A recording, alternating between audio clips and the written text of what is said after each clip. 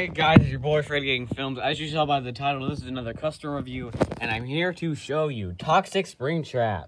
So, uh, disclaimer before I, start reviewing him, I did make him out of Dark Springtrap, so rest in peace for Dark Springtrap. Actually, no one cared about him, so whatever. So, let's just get straight into the review. So, here, is, uh, compare him to regular Springtrap. They look slightly similar, just different color changes.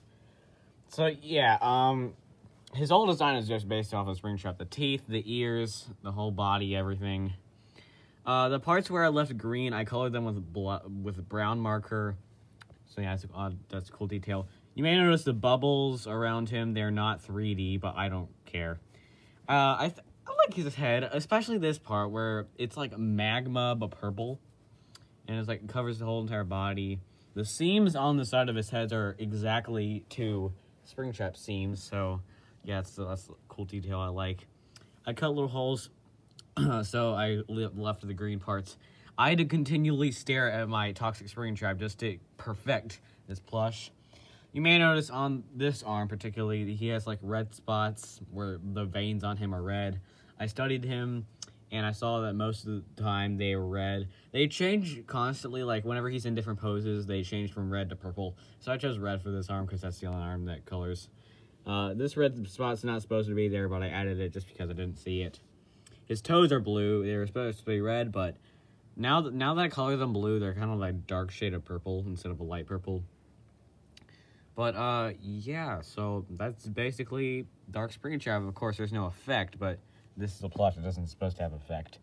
I especially like the eyes. It's small detail, but you can notice that Dark Springtrap has purple. I mean, not Dark Springtrap.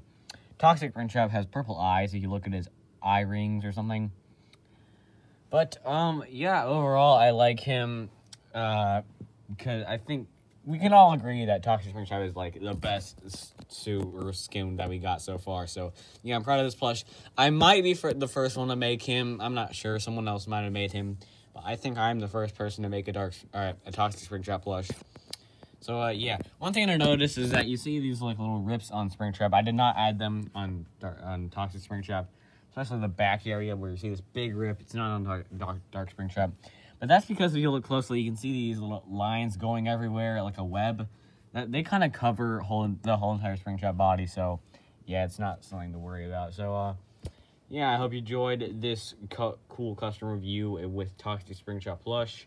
I'll definitely make more Radioactive Foxy's coming on the way, so yeah, get tuned, stay tuned for that. I'll make a review of him once I'm done with him. So yeah, hope you enjoy the video. Hope you like my custom. Be sure to subscribe. Again, thank you for a thousand subscribers. So yeah, bye.